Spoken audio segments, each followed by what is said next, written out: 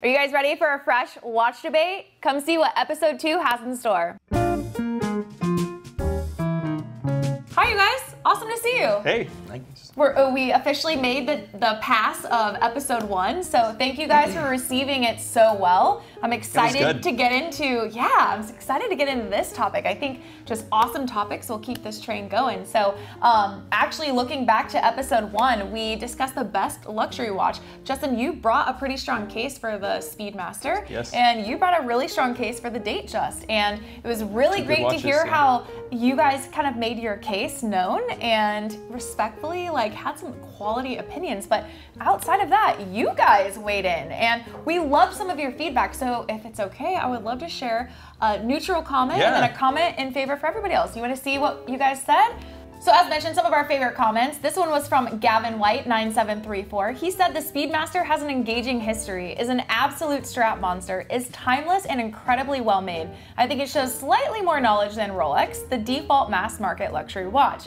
Omega Speedmaster will get a nod from watch enthusiasts, the Rolex from everyone else. Best solution? Buy both. But look, there's not just neutral comments. Ripley, you had some people in your corner. Oh, so, the correct people, yes. Uh, yeah. the Bronco Hammer, he said, well done. I believe Rolex won that one. More versatile and can serve as a one-watch collection. Well done, Bronco Hammer. You want to wear your watch in the water with me. I get that, yeah. there you go. the one guy. Aww. Well, you are not wrong. Uh, you had a lot of support, too, for the Speedmaster, Justin. And Sire638 said, not even up for debate, Speedmaster for the win. So, mm. Unless Very you're in the wise. water. Sorry, yes.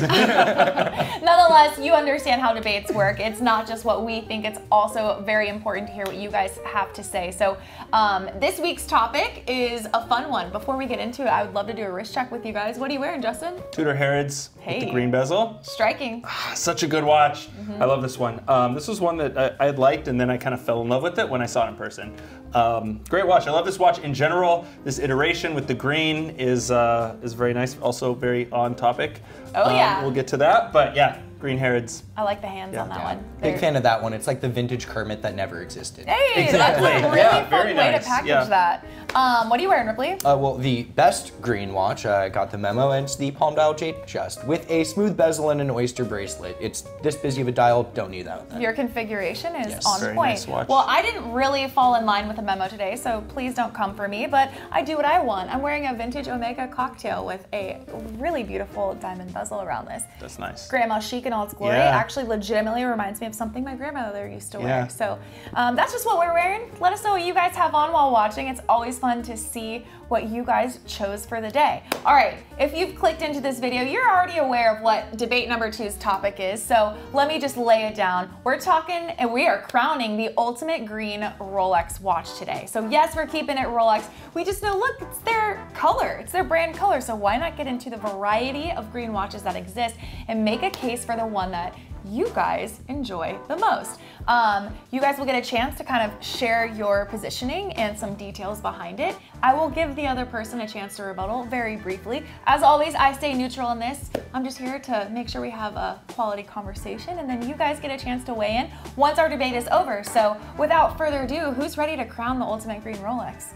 I Ripley, am. I'll let you start. Okay. Man, can, before we start, can I just say this? Yes, There's so many good green Rolexes I, am not here, trying to right? make this easy on and you guys. And also, it's Don't not even Rolex kind of pigeonholed me. There's so many great green watches. I'm wearing one of them right now. I but I do have an answer for the best green Rolex. I'm sure Ripley does as well. Yes. So um, yes. yeah, I appreciate I appreciate you guys always taking my requests for topics um, to heart. I'm sorry that it's challenging, but isn't that the point? It is. You guys, you guys is. delivered last time, so yeah. I'm very it's, excited to see. It's challenging, but at the same time, it's a really concise list because it, until re fairly recently, we didn't really have that many green Rolex Valid. watches.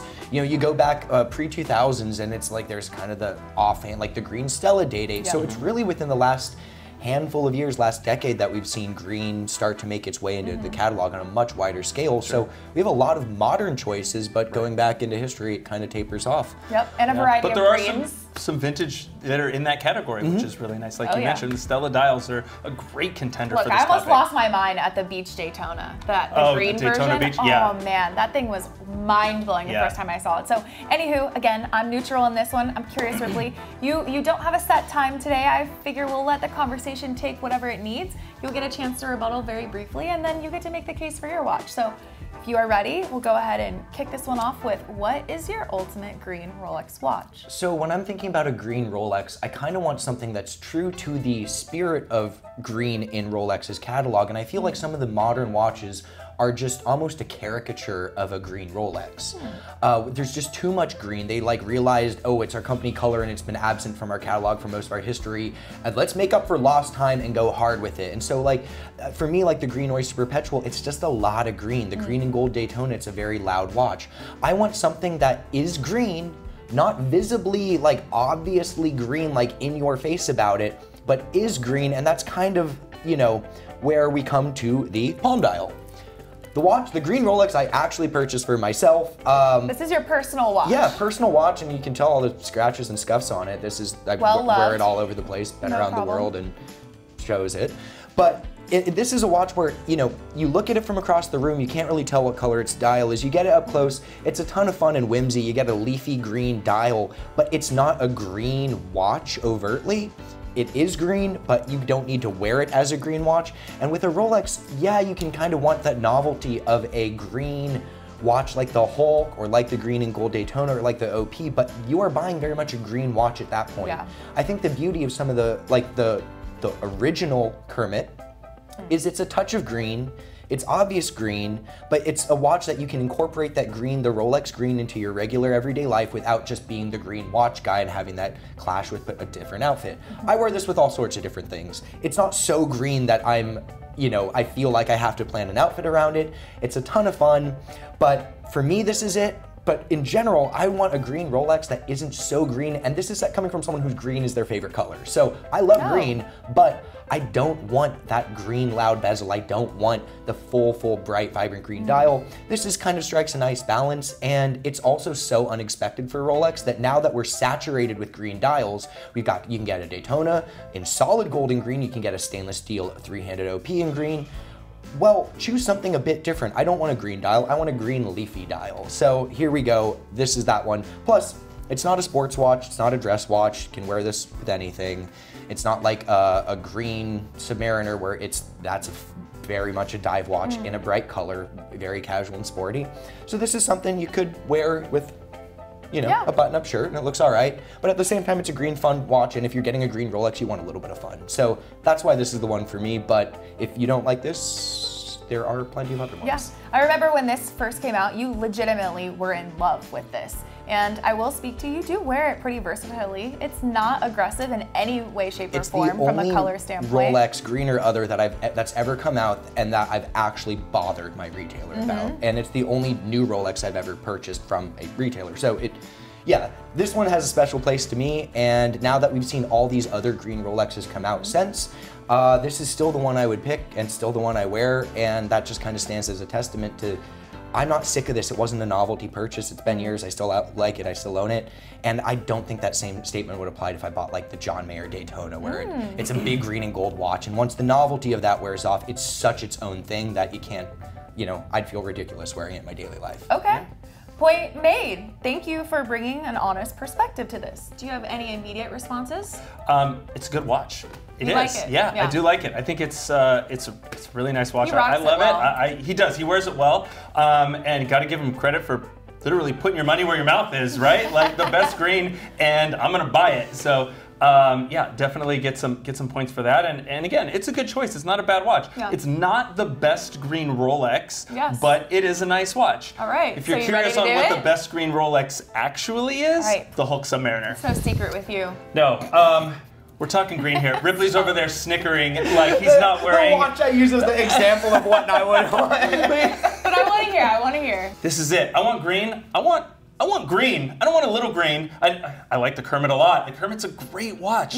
Um, but we're talking best green. It's Rolex's color. That's the topic. I'm in. I'm not one that wants to like dip my toe in the water. We're, we're jumping in the deep end. And this one does it. I love it. Um, one, it's a Submariner. I love that it's a Submariner, right? I mean, it's just One of the most universally Submar-. Right, yes. It's like the sport watch from Rolex. Um, and also, it's it, it has some history and nostalgia to it, right? They Mm-hmm. introduced the green on the 16610, the, the nickname Kermit version in 2003, right, to commemorate 50 years of the Submariner. This one came out in 2010, went to 2020, so it's now discontinued, and uh, it's been updated, but this version with the green dial is discontinued. And that's another fact I like about it. If you want a green dial on a Submariner, this is what you get. Yeah. That's it. There's one. When you have a green dial Submariner, you know what it is, and it's this one. Um, and some people might think it's it's kind of loud and, and too much color, um, but I honestly think that that's more of a perception than a reality.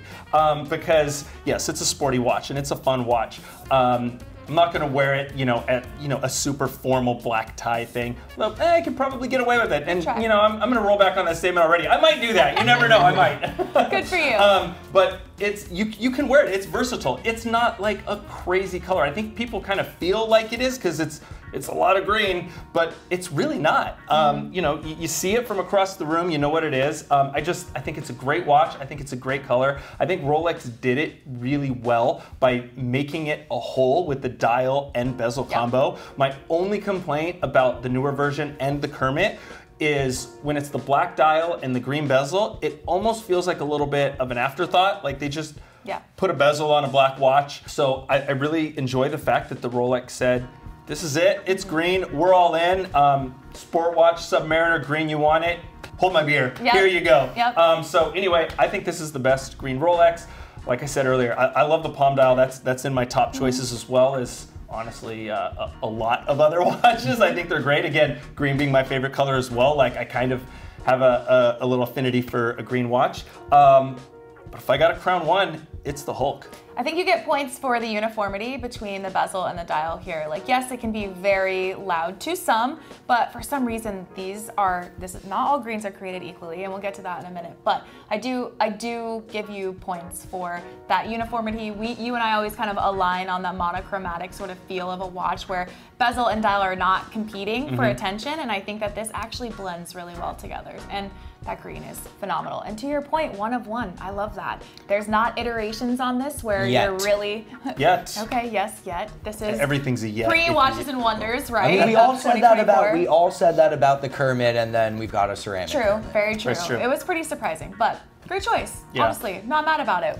I'm curious about the Kermit. Why, why we're talking about Yeah? that? The new, the Cermit, I guess, if I can. You're allowed to say it, but we don't I- like it. Makes me feel bad, but I'll say it anyway. um, what's better? Was that an improvement over this one? Do they like the kind of throwback to the the old Kermit, or uh, is the Hulk a better version of the Green Submariner?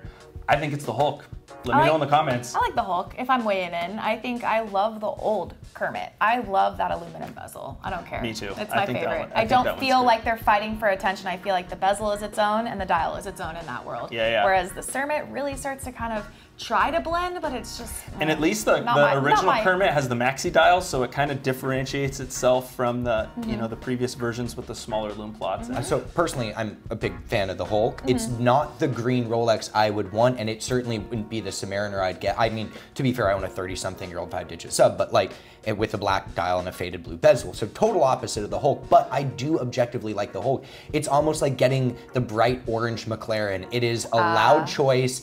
If it's if you have multiple cars and you've got many cars and you want the like the loud bold green Rolex, that would probably be my one, you know, that would probably be the one to go for. The sub quintessential Rolex, like the quintessential Rolex sports watch in Rolex's color. Really pretty piece. I just, if someone gave me the Hulk, it wouldn't be my everyday watch in the same way this is. And with a Rolex, like Rolex excels at being an everyday watch. Right. And so for a steel Rolex, I want it to be, whether or not I do, I want it to be something that I can wear every single mm-hmm. day. And that for me, it's where it's where Limiting. the Hulk, it's just a little too limiting. Mm. In a vacuum, I love the Hulk. It's so It's hard cool. to not green enjoy that sunburst watch. dial, super unique, super punchy. It is like the most green Rolex I can think of. And it's exactly for that reason why I wouldn't want it unless I had a bunch of other subs and other things. That said, for the person who doesn't want this because it's not enough green or it's a little too pedestrian or a little too understated, it's go go to the opposite side. Like if you're not wearing the dress shoes, get the colorful sneakers. You know what I mean? It's like two total opposite things. So on one hand, I I love that watch and it's almost like apples and oranges, two sides Right. of the same green coin. And and it is. It's uh, the uh, the palm dial is more versatile, right? It, Yeah. it just is. It's a little more subtle. Um, and it has um, that quality which I love in watches where it's kind of cool and funky, but you don't notice it Hmm. immediately. Like from across the restaurant, I'm not noticing that palm dial coming in. No. Where like I'm noticing this. It's like I can tell that guy's got a sub like you know across Especially the the stadium proper pretty light. much. As soon as you catch it, it's not a black It's also dial, what does the watch say about you? A lot of people like Mm. the green sub because of the hype. It's you know, it's a Submariner, it's the Hulk. It has a cool nickname, you know, it's loud and recognizable. It's the only green sub. And there's a lot of people who literally buy it because they like the hype, they like how much it's appreciated in value. No one has ever once been like, oh, you bought this because of the hype. They're- They're more like, why did you buy the? You could have bought any color, you know. And, but so it's it's no one is thinking I bought this for anything other than a very personal Sure. decision. Um, As so I- watches should be. well, yeah, yeah, but at the same time, you know, that, that my biggest problem with like a steel Royal Oak is like. There's no way to wear that watch and have people assume it's like a very, very personal choice that you made. Right. People Alright. assume, oh, hype beast, you're wearing it because it's the you know 16202, Yeah, yeah. whatever. So And I actually, I'm on the other side. I, I take some points away for that from this watch. I remember when it came out, and I, you know, I loved it then. I mean, again, I'm just, I love green's my thing. I like green, right? Um, and it wasn't the popular, the the, the popular Submariner. People were kind of like. Eh, it's kind of nice. I mean, I'll take the black, right? But the, the green ones, it's different, you know? And then recently it's been more hyped, it's been more popular, and I, I actually don't like that about watches. I don't like when that happens because I feel like it's, like you said, it's, it, it there's so many uh, purchase choices that aren't really a genuine taste and thing. They're, they're buying it because of the hype or the status or whatever. And, you know, if that's your goal, then great. I mean, it, it happens all the time. But for me, I, I take a few points away because I really want that pure, like, I love it for the watch and not for the market or anything else. Yeah, if you owned a Hulk in 2010, like I gotta tip my hat off to you because that would I knew people who bought the Hulk because they couldn't get a black one Sure, exactly. immediately. You know, they wanted a sub. They kind of liked both. Uh, the black one, and keep in mind 2010 that you could get a sub a lot easier than today. But Right. they literally got that one, or they got it pre-owned because it was less than retail. Yes, exactly. So like if you bought, like there's almost a meme where it's just like a guy gets out of a time machine. What year are we in? Wait, hold on. How much is that green Submariner? Oh, you're the other one. You know what I mean? And Yeah, it's like, it was such of the era. No one wanted the green sub, Yeah. and then. You know, now it's obviously a big thing. So, but It I is. did like it when it was, yeah, someone made Yeah. that decision because it was a very personal one. It wasn't, it was more expensive than the black one. Yeah, it was like, oh, Easier you like to green, get, you like yeah. this watch. It's not like, oh, you got it because this is going to be the cool one or this is going to Yeah. be, you know, the valuable one. Well, staying in the lane of green watches, I kind of like mentioned it earlier that not all Rolex greens are the same. I mean, all colorings tend to vary, but we have a few other watches that we were discussing ahead of the debate conversation.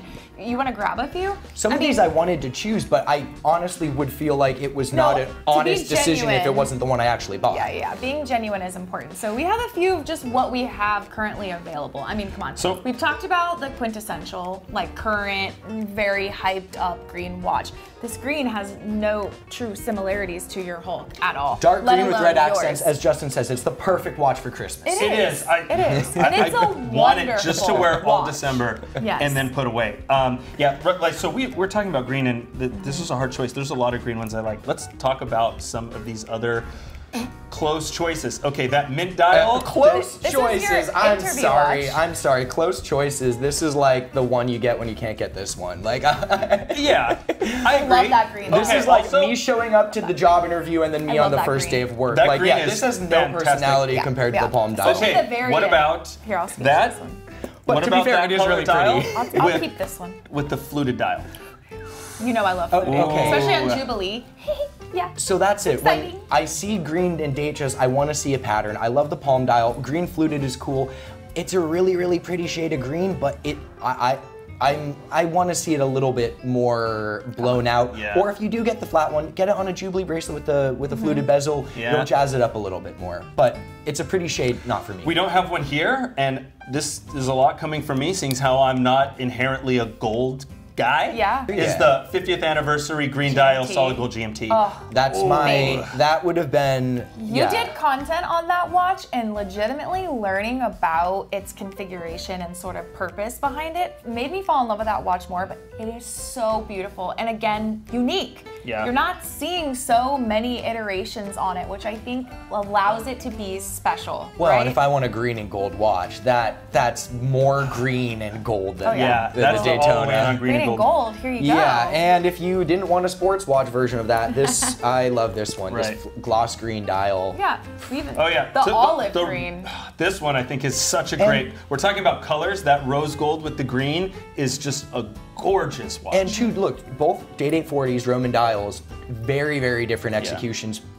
Different shades of green, different metals, different Yeah. Oh, bezels. yeah. Everything about it is different. We have this in uh, white gold right now too, and even those two side by side, it's like completely different. They just like it pulls out different tones completely, especially when you're in the light and wherever you know you're, st- however you're styling it. It just it, it, it lends differently so much so. Well, and look here, we're both talking about Date 840s. The buyer of one of these is not the buyer for another. Sure. Valid. And if you own both, more power to you. But Right.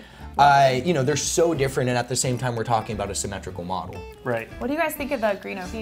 Okay, we don't have one here, but one I think is fantastic, and I think people are going to disagree with me on this. Is the previous version of that? It's the green OP with the, the little orange 34 markers. millimeters. Yeah, it, it was not available in the larger sizes. So- Oh, that But thing. that watch is you so- both have loved that watch forever. That whole series, like I even like The the, grape? grape dial one and the blue and green. I think is, but that green one is the best. And oh Stand out. man, that is a good watch. Yeah, Yeah. it is. The sizing, the configuration of it all. Yeah, that It- it was is awesome. 34, but those That's that why I love previous it. gen of six-digit 34 watches were pretty chunky. So Did. Yeah. I, yeah, I really like that. One. That one's a sleeper. Yeah, It's a d- no yeah. one, no one thinks of that Yeah. one. You love Um, the Stella. We talked I like about the the vintage Stella Stella because it's such a different shade of green. Like It is. Like talk about these are very different, but they're close. all a little bit mature. Even this one, which Yes. is like very Evolved. bright. And then you look at the Stella, and you're like, what like Crayola box did this fall out of? It is so different. But it's such a like time period specific color. Do you know what yes, I'm no, saying? 100%. And the fact that it's in like a vintage gold watch makes it even yeah. cooler. Yeah. Yeah, you Yeah, throw the that diamond one's really, hour really markers good. on that one. Oh baby. But talk about like a different purchase. I can oh, we- afford this. I can't sell True, all the true, organs in true, my body true. to afford the Speaking Stella. of different colors, we talk about the Daytona Beach Daytona, Yeah. right? That's another one. That green is nowhere near any No. of this green. Personally, I, I think I like the, the shade a little bit less, but I love the watch as a whole for Yeah. what it is. And Yeah. then yeah, we get into like the green materials, like that that one where Right. it's it that came from the stone, bloodstone, malachite. We get into these green stone Yeah. dials where you're turning to nature for the green shade Right. at that point, rather than like this kind of you know Rolex choosing a specific Sure. color. And those are really interesting. You get malachite, you get 15 different shades of green in Yes, the you do. striation. Yeah, yeah. The striations alone will really lend Yeah. that differently too. That would, if I were actually playing into this, that would probably have been my vote on a like gold. The Day Day with the president green style. st- yeah, Oh, those are man. really nice too. One of my favorites Yeah. for sure. But it was fun to see these. Lots of good green Rolex choices. But, but you notice these are all modern watches, all sapphire crystals, Right. ceramic bezels. These are like all six-digit watches on the table. You know, Yeah. now you can find five digits and even four-digit green Rolexes, Yeah. but look at what we have available today and uh, 10 15 years ago we would this would be a very short episode we'd be discussing a few watches and that would be pretty Yeah. much it And Yeah. it's, I mean, we're talking about green, but I feel like that's true for just color and style in general, right? Yeah. Like as time has been going on, like look at things like the celebration dial Yeah, and wow. some of the colors they're bringing in. Outside from the Stellas, um, quite some time ago, Rolex hasn't really been that, you know, into the brighter this colors was and weird when it came out for a dial and now we have like the celebration dial the puzzle Yeah. piece day date there's And I a like lot that. more I, weird I, stuff. I actually really enjoy that from Rolex. They're kind of being a little bit different, a little bit more edgy, pushing the boundaries a little bit more. They more. got and tired I of being welcome it. called boring. We have Yeah. people like us saying they're boring and Yeah. expected for years. And like the fact when this is like a, a novel thing, like, all right, we got to go step it up. If Right. green was us being adventurous, well, like you said, hold my beer. We're gonna go make Yeah, emoji yeah. dials. exactly. All in all, you guys, you you rolled out the red carpet, rolled out the green carpet, maybe I should say, on your picks. I really appreciate, you know, not only your personal preferences coming to play, but also taking in the historical significance and even really looking at the gamut, not just what's on our website, but what has been and what potentially will be. You know what I'm saying? Yeah. So, nonetheless, wonderful choices. Thank you for weighing in. And now it's your turn. Yeah, we home. wanna know. What do you guys think of this conversation? Is there something that, look, we mentioned a lot of different watches at the end of the day. What have we missed? yes, you can go outside of Rolex if you really have to. That's not the point of the debate. But look, for the sake of green, let us hear if there's something else that really just like has a place in your heart. We'd love to hear um, and extend this conversation over to the comments. So weigh in. Let us know who you agreed with most. Even if it's me, I love it. yeah. yeah. Um, this is uh, the series of Watch Debate is really fun, and I know we've got some awesome um, topics to continue to debate about. So be sure to check back um, very soon for a fresh episode of Watch Debate. But until then, everybody, be well.